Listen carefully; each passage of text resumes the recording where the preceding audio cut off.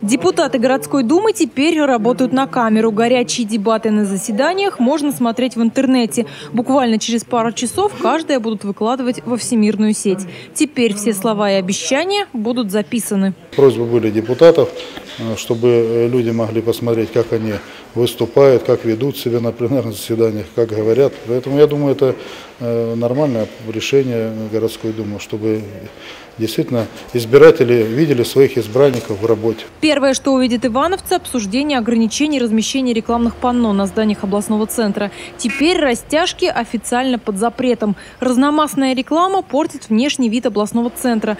Поэтому должна быть убрана со всех домов города вне зависимости от района. Но рассчитывать на то, что панно исчезнут с фасадов уже завтра, не стоит. Те договора, которые сегодня заключены, а они заключены немало таких договоров, они будут работать до 2018 года в том числе, я думаю, за эти 3-4 года, которые есть у, этих ТСЖ, они смогут или э, крышные конструкции э, сделать, которые разрешены сегодня, или другие формы они поищут.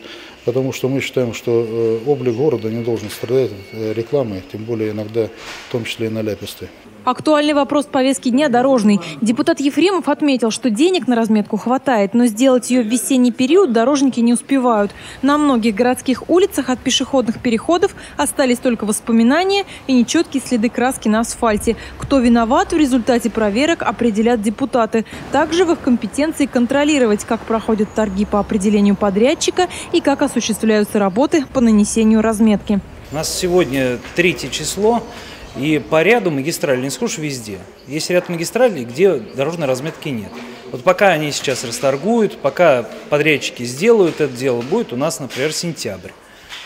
А за летний период непонятно, что произойдет на дорогах. Это жизнь людей, и, конечно, мы так рисковать не можем. Чтобы избежать упреков в искусственном затягивании пленарных заседаний, все вопросы депутаты решили сегодня. Утвердили изменения в бюджет областного центра, его сумма увеличилась на полмиллиарда. До выборов 8 сентября в таком составе городская дума собираться не будет. Слуги народа уходят в отпуск.